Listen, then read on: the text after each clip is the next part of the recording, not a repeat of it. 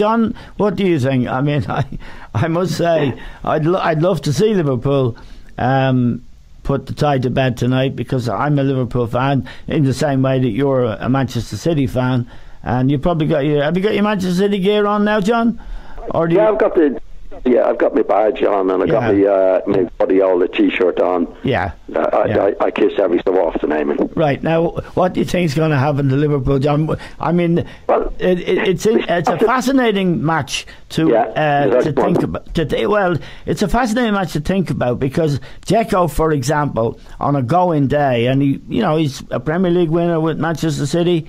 Um, De Rossi, very experienced player. They have Kolarov, who's dangerous in set pieces. Uh, the more I think about this game, as a Liverpool uh, well wisher, shall we say, uh, the more nervous I become. Yeah, well, well, well, they, they did great, Eamon, in the last round to beat to knock Barcelona out. You know, having been, uh, what was it, three goals down after the first leg. Uh, but where, you know, but where are they in the, the Italian league, Eamon? Fourth.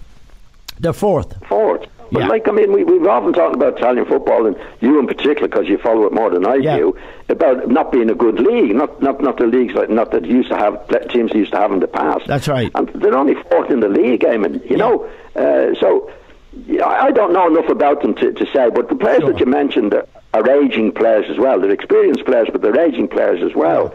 So I think on paper you'd have to fancy Liverpool, but again, Liverpool have to defend Eamon. I know Van Dijk has made a difference. I think Robertson has made them more secure. But I watched the match on Saturday against West Brom, and for the two goals, they were awful. Yeah. And this was bread and butter stuff, defending from a corner kick and a free kick. So that's still there uh, with Liverpool. It hasn't gone away. No, I think for a lot of matches you can get away with it, but I'd always be very, very wary of this particular situation.